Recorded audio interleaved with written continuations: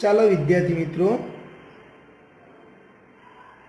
ધોરણ બાર, રીત નંબર બે, નફા નુકસાનના પ્રમાણ પરથી ભાગીદારે મળતો નફો શોધવો. એટલે કે નનુનું પ્રમાણ આપેલું હોય. ક્લિયર તો હવે તમે રકમ લખી દીધી છે.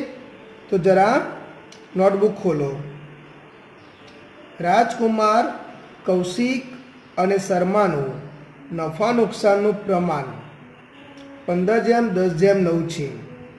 જો વર્ષના અંતે પેઢીનો નફો કુલ અડસઠ હજાર રૂપિયા થયો હોય, તો દરેક ભાગીદારને મળતી રકમ શોધો. ક્લિયર તો હવે સૌથી પહેલાં તમે શું આપ્યું છે દાખલામાં જોઈ લો કે નફા નુકસાનનું પ્રમાણ. કેટલું આપ્યું છે?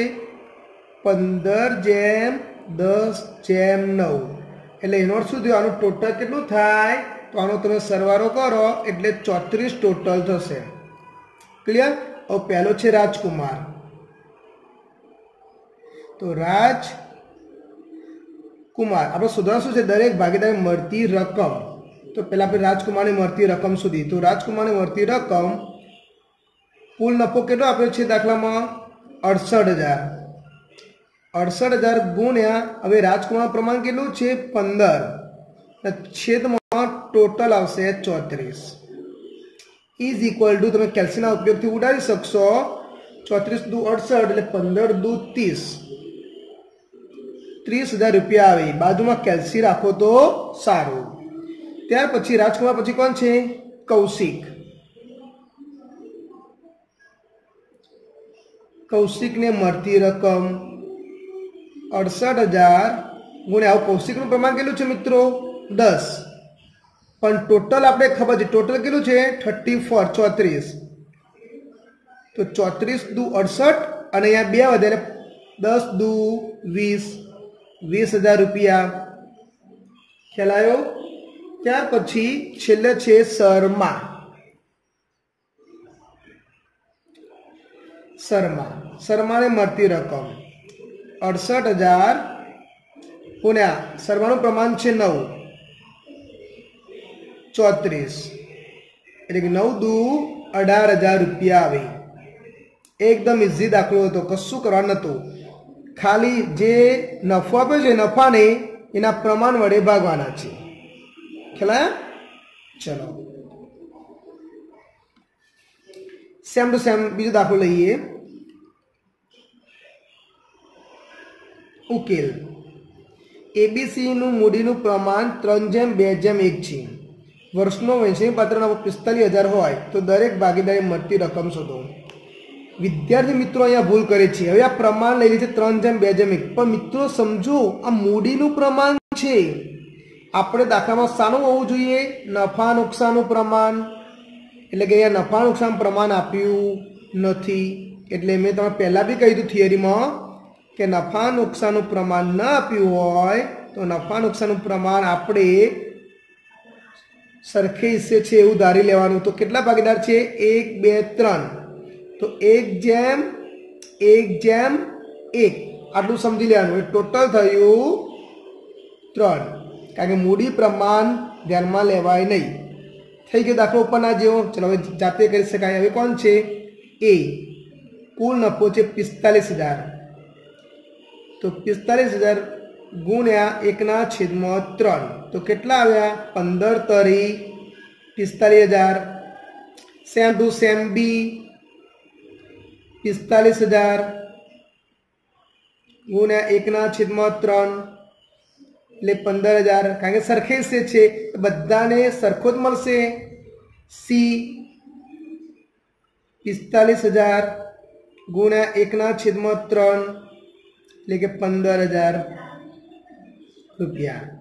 ક્લિયર બાકીના દાખલા તમે જાતે કરો. હવે લઈએ રીત નંબર થ્રી. વિદ્યાર્થી મિત્રો, રીત નંબર થ્રી બરાબર સમજવા જેવું છે. પેઢીનો કુલ નફો આપેલો હોય ને ભાગીદારનું કમિશન બાદ કર્યા પછી, કમિશન બાદ કર્યા પછી, કમિશન પહેલાંનું નહીં, કારણ કે આ રીતમાં બે આવે છે. કમિશન બાદ અને કમિશન બાદ કર્યા પહેલાંનો. તો અહીંયા છે કમિશન બાદ કર્યા પછી ચોખ્ખા નફા પર કમિશનનો દર આપેલો હોય તો. તો આમાં એટલું જ વસ્તુ યાદ રાખવાનું, કુલ પેઢી નફો આપેલો હોય, કમિશન બાદ કર્યા પછી કમિશનનો દર આપ્યો હોય.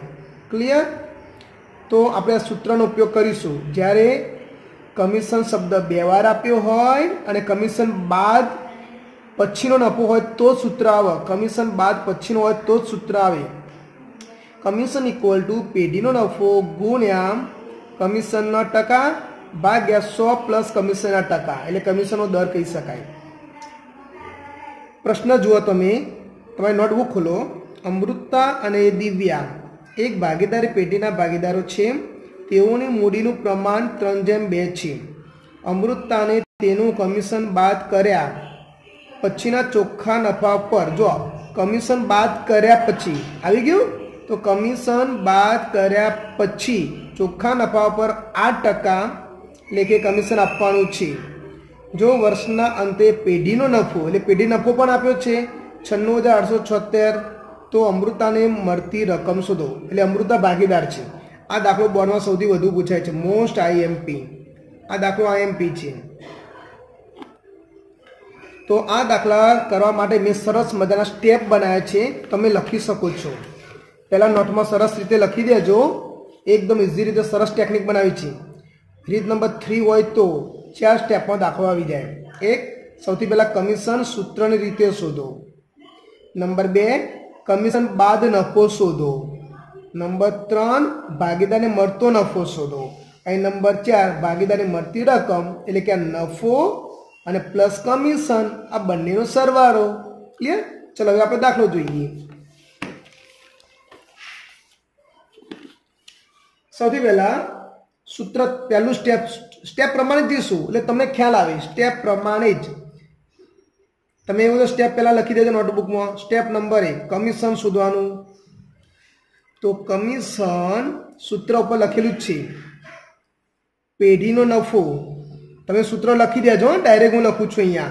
પેઢીનો નફો છન્નું હજાર આઠસો છોતેર. ગુણ્યા કમિશનના ટકા. કમિશનના ટકા કેટલા છે અહીંયા?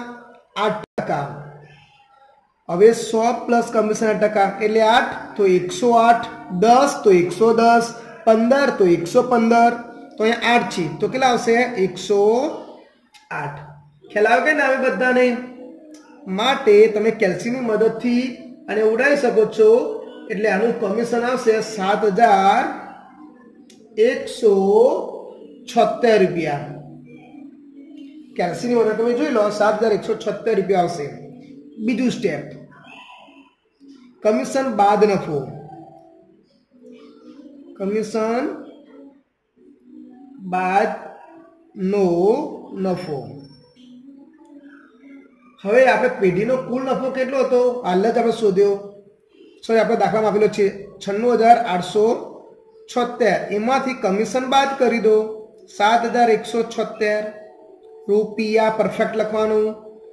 તો કેલ્સીની મદદથી તમે છન્નું હજાર આઠસો છોતેરમાંથી સાથે એકસો છોતેર બાદ કરશો એટલે નેવ્યાસી હજાર સાતસો રૂપિયા આવે. નેવ્યાસી હજાર સાતસો રૂપિયા આવે. તો આમ કમિશન બાદનો નફો આવ્યો. ખ્યાલ આવ્યો? નફો કેટલા ભાગીદાર છે અહીંયા? એક અને બે, અમૃતા અને દિવ્યા. તો બે ભાગીદારો છે. હવે તમે વસ્તુ સમજો, અહીંયા કોઈ નફા પ્રમાણ આપ્યું છે? આ તો મૂડીનું પ્રમાણ છે. તો નફા પ્રમાણ આપ્યું નથી. કેમ? કારણ કે નફો, નફા નુકસાનના પ્રમાણમાં જ વહેંચાય તો અહીંયા લખીશું, હવે માટે દરેક ભાગીદારને મળતો નફો. હવે આ નફો કેટલો આવ્યો? નેવ્યાસી હજાર સાતસો. હવે નફા નુકસાન પ્રમાણ નથી આપ્યું, એટલે તમારે શું સમજી લેવાનું? સરખે ઈસે તો કેટલા ભાગીદાર છે? અમૃત અને દિવ્યા બે, તો ભાગ્યા બે. જો ત્રણ ભાગીદાર હોય તો ત્રણ કરીશું, બરાબર સમજજો. ત્રણ ભાગીદારો તો ત્રણ કરીશું. તો બે ભાગીદાર છે તો નેવ્યાસી હજાર સાતસોના તમે અડધા કરશો, એ તમારે કેલ્સીનું આવશે ચુમ્માલીસ હજાર આઠસો પચાસ રૂપિયા. આવી ગયો દરેક ભાગીદારને મળતી રકમ નફાની માટે આપણે શું આપણે શું શોધવાનું છે? અમૃતાને કુલ કેટલી રકમ મળશે? માટે અમૃતાને મળતી કુલ રકમ, એટલે કે નફો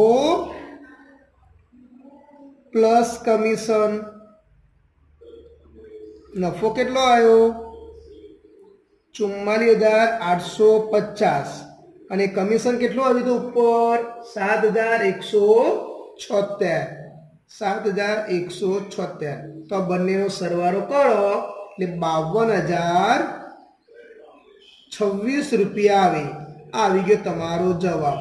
બાવન હજાર છવ્વીસ. ચાર સ્ટેપ હતા. પહેલું કમિશન શોધવાનું, બીજું કમિશન બાદ નફો શોધવાનો, ત્રીજો ભાગીદારનો નફો, અને ચોથું જે ભાગીદાર હોય એને મળતી રકમ. કમિશન આપણે સૂત્રની રીતે શોધીશું. કમિશન આપણે સૂત્ર રીતે શોધી લીધું. કમિશન બાદ નફો. તો કુલ નફામાંથી કમિશન બાદ કર્યું. કુલ નફામાં કમિશન બાદ કર્યું એટલે નેવ્યાસી સાતસો આવ્યા. માટે દરેક ભાગીદારને મળતો નફો, તો નેવ્યાસી સાતસો ભાગે બે ભાગીદાર છે તો બે અને ત્રણ ભાગીદાર તો ત્રણ. એ ચુમ્માલીસ આઠસો પચાસ નફો આવ્યો. માટે અમૃતાને મળતી રકમ બરાબર નફો પ્લસ કમિશન તો આપણી પાસે અહીંયા જે બે પોઈન્ટ હતા, એક હતો કમિશન અને એક હતો નફો. આ બંનેનો સરવાળો. આવી ગયો? બધાને આવી ગયો? હજી એક દાખલો ફરીથી લઈએ અંશા, હિતેશ અને વિજય એક પેઢીના ભાગીદારો છે. તેઓની મૂડીનું પ્રમાણ. જો અહીંયા પણ મૂડીનું પ્રમાણ આપ્યું છે, એટલે ધ્યાનમાં લેવાનું નહીં.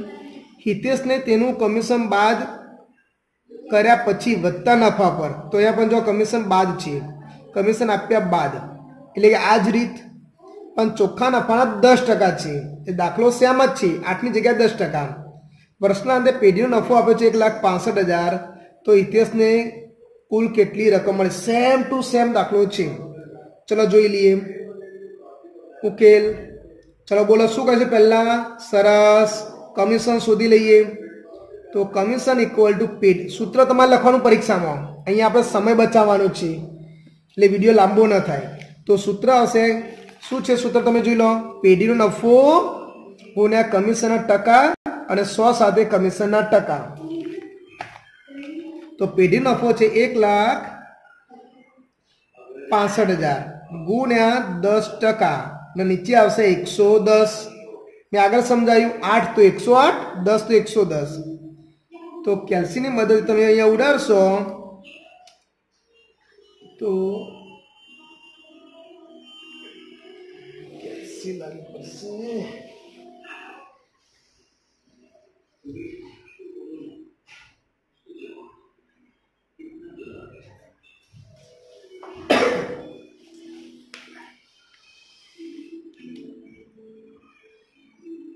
એક લાખ પાસઠ હજાર ગુણ્યા દસ ભાગ્યા એકસો દસ. એટલે પંદર હજાર આવશે. પંદર હજાર રૂપિયા કમિશન આવ્યું. ખ્યાલ હવે બીજું સ્ટેપ કમિશન બાદ નફો. જો સ્ટેપ બિલકુલ બદલાશે નહીં, મસ્ત ઇઝી રીતે દાખલા બનાવે છે મેં. કમિશન બાદનો નફો. તો બોલો, શું કરીશું? વેરી ગુડ જે કુલ નફો આપ્યો છે, એ કુલ નફામાંથી પંદર હજાર બાદ કરી દઈશું. એટલે કે એક લાખ પાસઠ હજાર પંદર હજાર બાદ કરો, એટલે કે જીરો જીરો જીરો પાંચમાં પાંચ હજાર જીરો છમાંથી એક. એટલે પાંચ, એક લાખ પચાસ હજાર રૂપિયા આવશે. એક લાખ પચાસ હજાર રૂપિયા આવે. હવે નંબર થ્રી દરેક ભાગીદારને મળતી રકમ. માટે દરેક ભાગીદારને મળતી રકમ. તો અહીંયા મૂડીનું પ્રમાણ છે. આપણે નફા નુકસાન પ્રમાણ આપેલું હોવું જોઈએ, પણ નથી. તો આપણે સમજી લેવાનું કે સરખેશે છે. તો એક લાખ પચાસ હજાર રૂપિયા ભાગ્યા કેટલા ભાગીદાર છે? ત્રણ. અંશા હિતેશ અને વિજય. તો ભાગ્યા ત્રણ કરીશું. તો પાંચ તરી પંદર. પાંચ તરી પંદર થાય એટલે પચાસ હજાર રૂપિયા આવશે દરેક ભાગીદારના ભાગે. તો કમિશન કેટલું આવ્યું? પંદર હજાર. નફો કેટલો આવ્યો? પચાસ હજાર. સિમ્પલ. તો કોને શોધવાનું છે આપણે? હિતેશને મળતી રકમ. માટે માટે હિતેશને મળતી કુલ રકમ ઇઝ ઇક્વલ ટુ નફો પ્લસ કમિશન નફો કેટલો આવ્યો? પચાસ હજાર. કમિશન કેટલું આવ્યું? પંદર હજાર રૂપિયા. રૂપિયા ખાસ લખવાના. તો પચાસ ને પંદર કેટલા થયા? પાસઠ હજાર રૂપિયા થયા. બોલો, વિદ્યાર્થી મિત્રો, આવડી ગયા દાખલા? આ મોસ્ટ બી છે. તો આવા દાખલાઓ બાકી જાતે કરો. દોસ્તો, આ વીડિયો હાલ જ, હમણાં જ લાઈક કરો. કારણ પાછળ ભૂલી જાય છે અને જો તમે મારી ચેનલને સબસ્ક્રાઈબ ન કરી હોય, તો પહેલાં સબસ્ક્રાઈબ કરો અને ત્યારબાદ બેલ આઇકોન પર ક્લિક કરો, જેથી મારા નવા વીડિયો સૌથી પહેલાં તમારા સુધી પહોંચે.